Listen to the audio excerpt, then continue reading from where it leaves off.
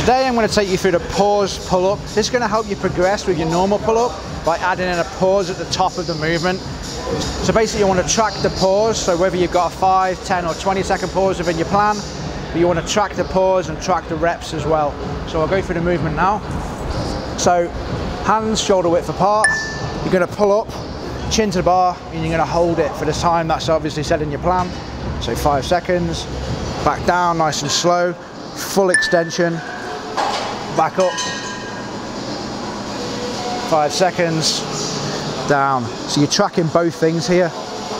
The pause, so I'll go one, two, three, four, five in my head, and back down. Okay guys, that's the pause pull-up.